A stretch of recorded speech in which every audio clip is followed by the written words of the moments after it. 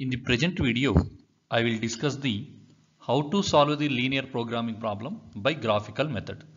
Let's see the problem. Maximize z equal to 5x1 plus 7x2 subject to x1 plus x2 less than or equal to 4, 3x1 plus 8x2 less than or equal to 24, 10x1 plus 7x2 less than or equal to 35, x1 comma x2 greater than or equal to the 0. Here z equal to 5x1 plus 7x2 is the objective function and x1 and x2 are the decision variables. x1 plus x2 less than or equal to 4, 3x1 plus 8x2 less than or equal to 24, 10x1 plus 7x2 less than or equal to 35 are the constraints and x1 comma x2 greater than or equal to 0 is the non-negativity constraint. Let's see the solution. First step is consider the each inequality constraint as an equation. For this, replace the inequality symbol with equal symbol in the constraints. Then constraints will becomes the x1 plus x2 equal to 4, 3x1 plus 8x2 equal to 24, 10x1 plus 7x2 equal to the 35. Next step is each constraint will be plotted on the graph by treating it as linear equation. Before that, we have to determine the coordinates of the each constraint. Let's see the first constraint equation is x1 plus x2 equal to 4. First consider x1 equal to 0 and substitute in the equation x1 plus x2 equal to 4 then x2 value is the 4. Similarly consider x2 equal to 0 and substitute in the equation x1 plus x2 equal to 4 then x1 value is the 4. Then coordinates of the constraint equation x1 plus x2 equal to 4 is 4 comma 4. Similarly for the second constraint equation 3x1 plus 8x2 equal to 24. Consider x1 equal to 0 and substitute in the equation x2 value is the 3. Similarly, consider x2 equal to 0 and substitute in the equation we will get the x1 value is the 8. Then coordinates of the 3x1 plus 8x2 equal to 24 constraint equation is 8 comma 3. Next we have to see the third constraint equation 10x1 plus 7x2 equal to 35. First we have to consider x1 equal to 0 and substitute in the equation then we will get x2 value is the 5. Similarly consider the x2 value is the 0 and substitute in the equation then we will get x1 value is the 3.5. Then coordinates are the 3.5 comma 5. Next each constraint will be plotted on the graph by treating it as linear equation. And treat x1 as the horizontal axis and x2 as the vertical axis. Here we draw the horizontal axis and vertical axis on the graph sheet and considering the horizontal axis as the x1 and vertical axis as the x2 and considering the 1 centimeter equal to the 1 unit. Then locate the coordinates of the each constraint on the graph sheet and joined by the line. First we have to locate the first constraint equation x1 plus x2 equal to 4 coordinates 4 comma 4. So first we have to mark the 4 on the x1 axis and also 4 on the x2 axis.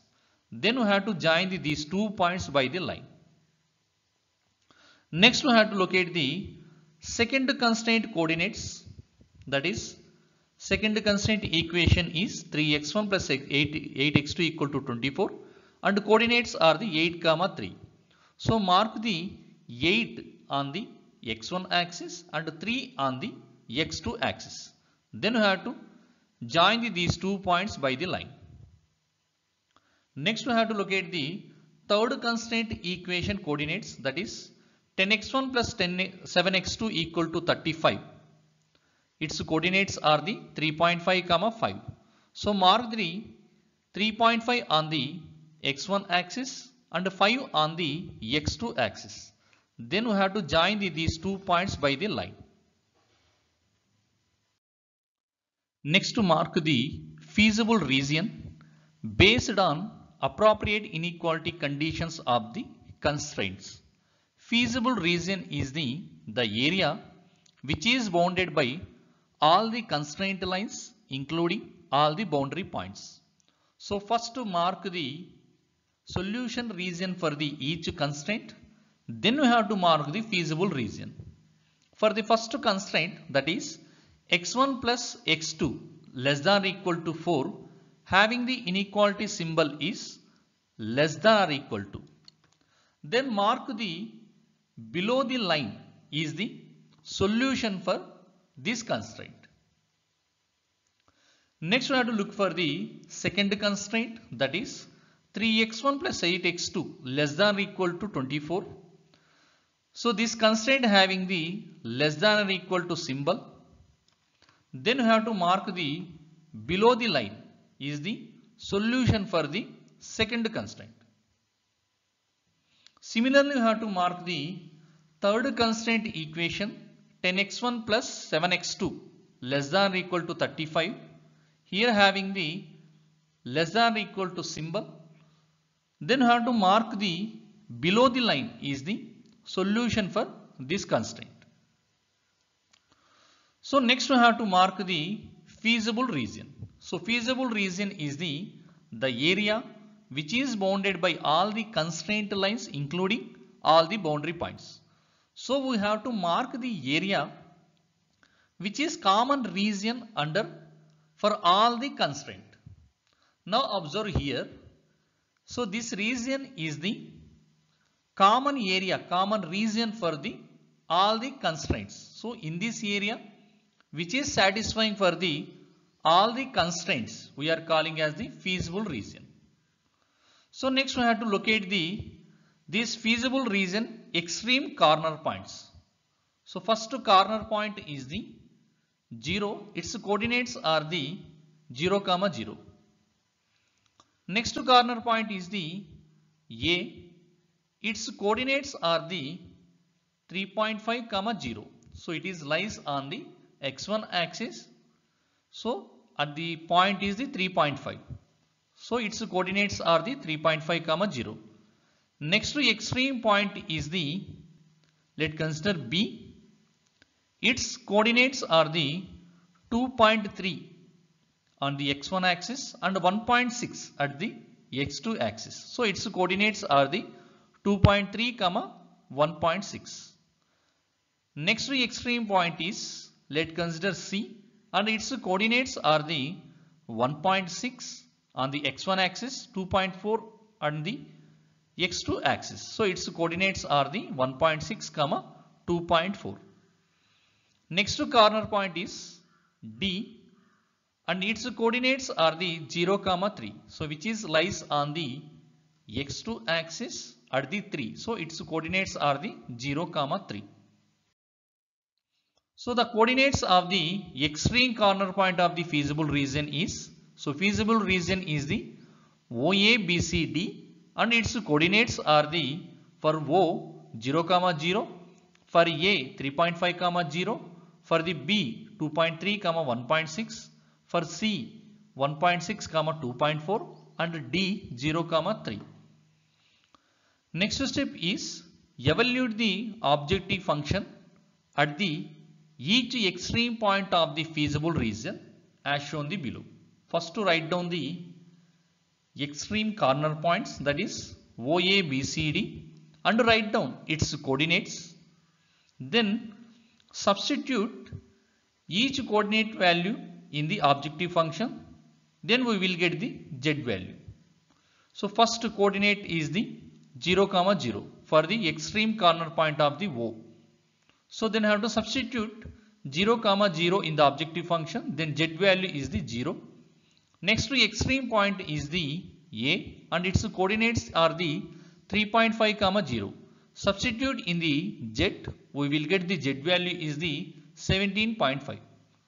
Similarly, next to extreme point is the B and its coordinates are the 2.3 comma 1.6.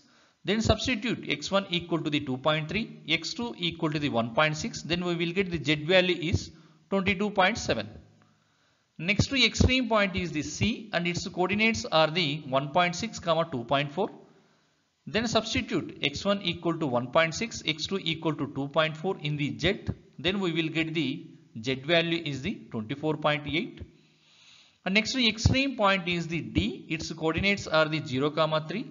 Then substitute in the Z as x1 equal to 0, x2 equal to the 3. Then Z value is the 21. Now here objective function is maximize Z. So here among the these at the extreme points Z value is maximum value we are getting 24.8 at the extreme corner point of the C and its coordinates are the 1.6 comma 2.4. Hence the optimal solution of the LP problem is given as so we'll get the maximum value is the Z, uh, Z equal to 24.8 at x1 equal to the 1.6 and x2 equal to 2.4. So this is the solution and thank you.